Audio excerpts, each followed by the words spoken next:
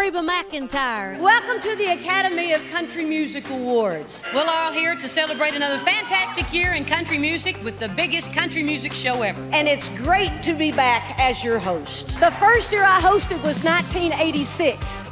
Okay, Taylor Swift just looked at me like I announced that I flew with the Wright brothers. This is my 16th time of hosting the show. By the way, I hope you like my dress. People always ask me, Do you ever get tired of doing it? And I said, Tired of celebrating great artists and music? Tired of amazing live performances? Tired of being in charge of the biggest night in country? Heck no! My name is Reba McEntire, and I hadn't been tired in 53 years.